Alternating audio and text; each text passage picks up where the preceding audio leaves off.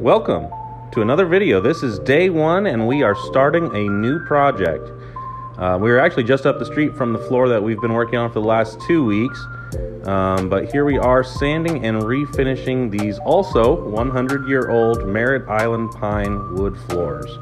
Um, these ones actually are in much better shape than the ones last week. It might be hard to tell from this room, um, but no termite damage, anything like that going on with this one that I've seen anyways so far. Um, so we are using 40 grit paper and we are rough sanding over the entire floor today.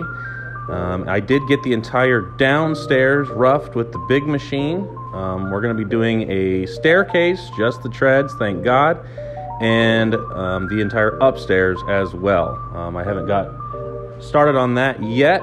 Just kind of got started on the downstairs today, got everything set up and going, and we are off to the races now.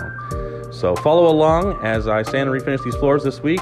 Feel free to ask questions along the way, and uh, by the end of the, I don't know if it's going to spill over into next week or if it's going to be a one week thing. Um, we'll have to just see how it goes. Tomorrow should be um, doing all of the edging and probably going over the floor for the second pass tomorrow. He's he's working on some stuff upstairs, so it's not quite ready up there yet. Um, but follow along on this journey as we sand and refinish these hardwood floors.